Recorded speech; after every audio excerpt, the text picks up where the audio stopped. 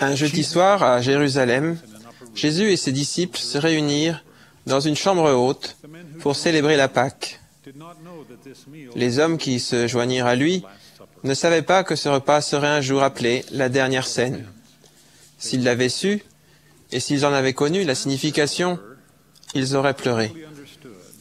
Cependant, leur maître comprenait parfaitement que le supplice de Gethsemane et du Golgotha allait bientôt commencer. Les heures les plus sombres de l'histoire du monde étaient imminentes. Néanmoins, Jésus leur dit. Vous aurez des tribulations dans le monde, mais prenez courage, j'ai vaincu le monde. Nous vivons aujourd'hui une époque d'agitation et d'incertitude.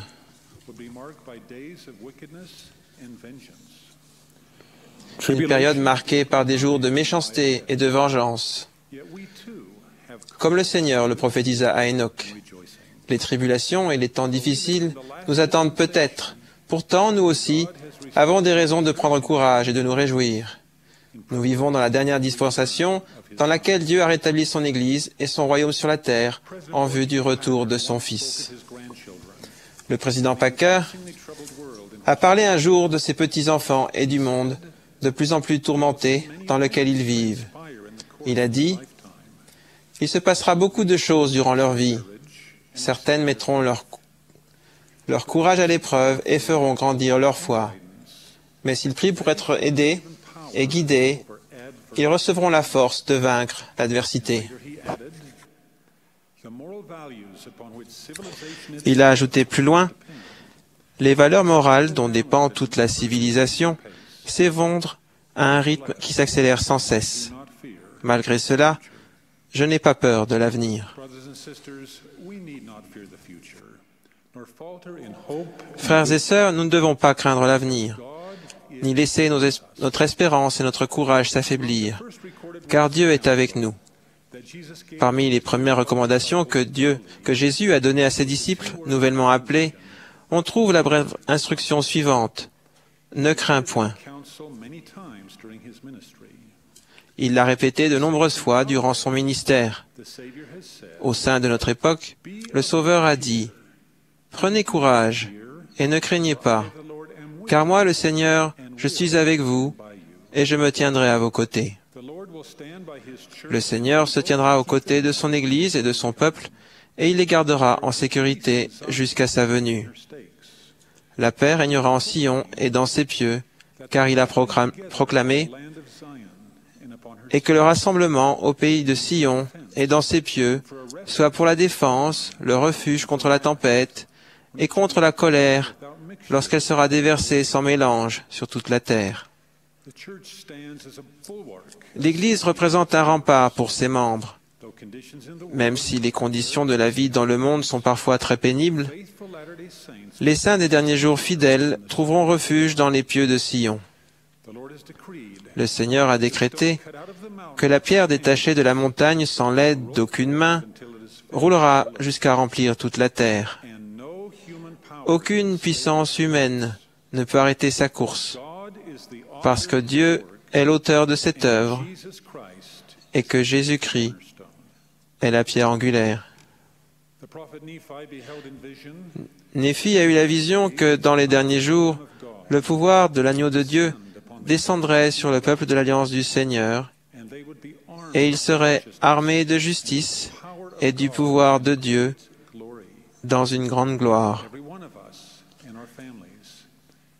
Nous pouvons tous, avec notre famille, être armés du pouvoir de Dieu comme défense si nous restons fidèles à l'Église de Jésus-Christ des saints des derniers jours et laissons l'Esprit nous guider.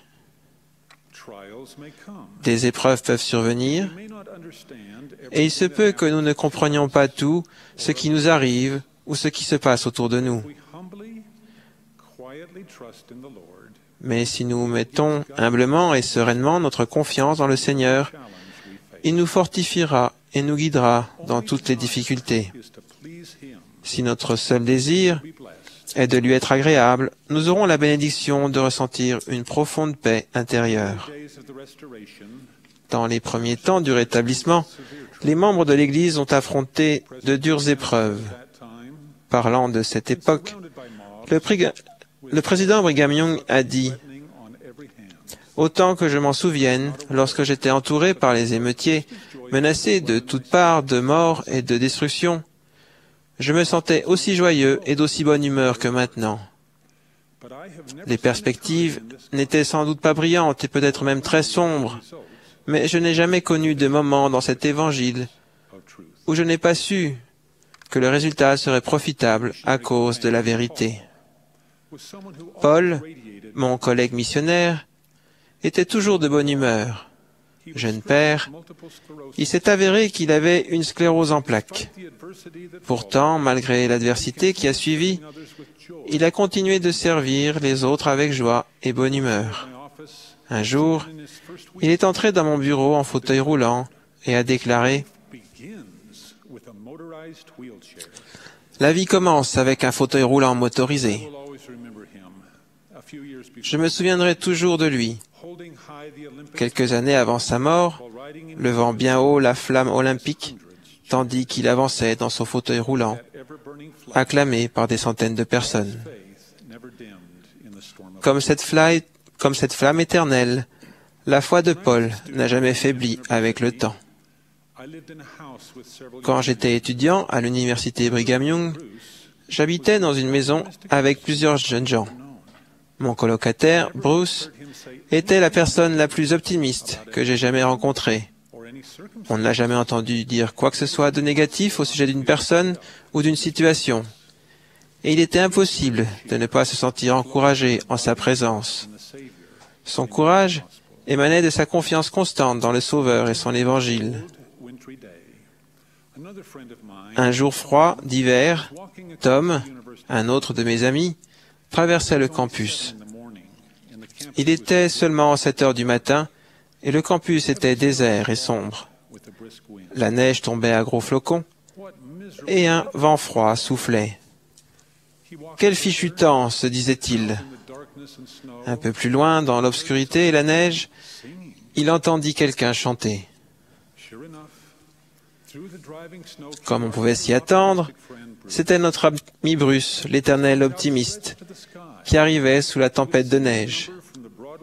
Les bras tendus vers le ciel, il chantait un morceau de la comédie musicale de Broadway, Oklahoma. Oh, quelle belle matinée! Oh, quelle belle journée! Je me sens bien. Tout me sourit.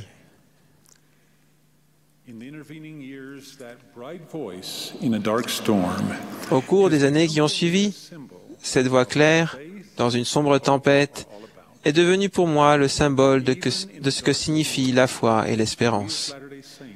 Même dans un monde de plus en plus sombre, nous, saints des derniers jours, nous pouvons chanter avec joie, sachant que les pouvoirs des cieux sont avec le peuple et l'Église de Dieu.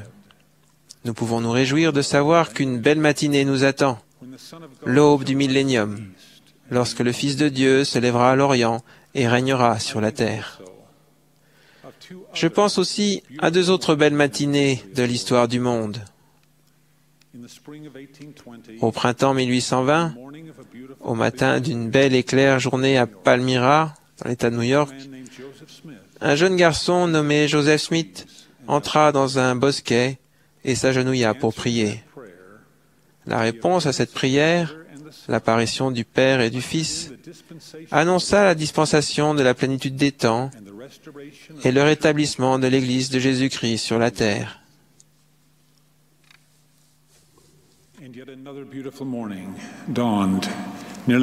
Il y eut une autre belle matinée, il y a près de 2000 ans, juste à l'extérieur de la vieille ville fortifiée de Jérusalem. Le soleil brillait sans doute d'un éclat exceptionnel en ce matin de Pâques. Un petit groupe de femmes s'était rendu auprès d'un tombeau dans un jardin, espérant oindre le corps de leur Seigneur crucifié. Elles rencontrèrent deux anges qui leur déclarèrent Pourquoi cherchez-vous parmi les morts celui qui est vivant? Il n'est point ici, mais il est ressuscité. Je témoigne du triomphe de Jésus-Christ sur le péché et la mort. Je témoigne du plan miséricordieux de notre Père éternel et de son amour éternel. Puissions-nous, en nous éveillant chaque matin, lever les yeux vers le ciel avec foi et dire Oh, quelle belle matinée C'est là ma prière, au nom de Jésus-Christ. Amen.